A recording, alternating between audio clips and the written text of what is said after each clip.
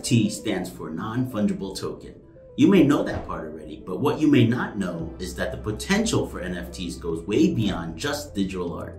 The technology has the potential to be transformational. Put simply, non-fungible is defined as something that is one of a kind and cannot be replicated. For example, your goldfish. There are plenty of other goldfish in the world, but none of them are exactly alike. Each one of them are unique. NFTs are often used to represent forms of digital assets such as photographs, artwork, and videos, to name a few.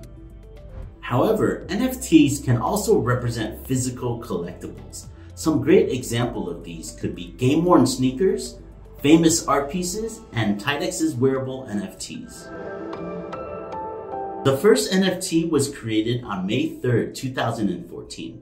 However, the idea of using blockchain tech in this way didn't really take off until the appearance of CryptoPunks and CryptoKitties a few years later in 2017.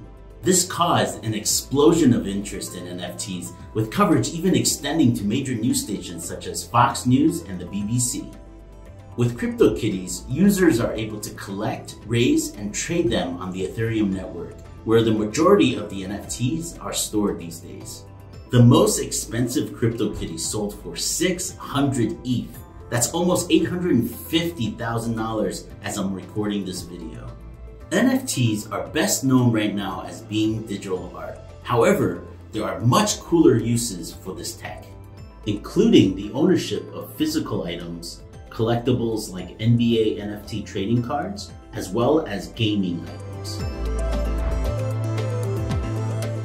Looking at NFTs simply as digital art is a common but essentially short-sighted view of its potential. A time will come when an NFT could conceivably replace your passport, or the deed of your house, or even the keys to your car. As well as everyday things, NFTs will play a larger and larger role in how we're entertained. For example, the metaverse we're building at Tidex is a world where users will be able to experience new ways to gather information.